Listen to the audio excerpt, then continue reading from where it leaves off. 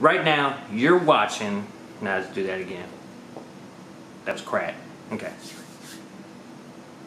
What's up everybody? You're watching behind the scenes of my latest video, Come and Go, shot right here by myself in my own living room, because that's how I do. Yeah.